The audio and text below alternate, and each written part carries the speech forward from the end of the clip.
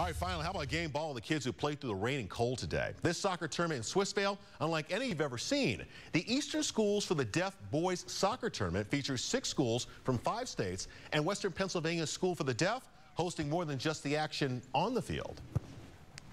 The social time at, at night, that's really where it's most important, you know, because the deaf cherish the communication and the interaction with each other.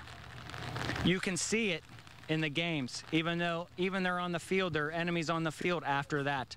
They're the best of friends. And I think those young people deserve a standing ovation in Standing sign ovation? language.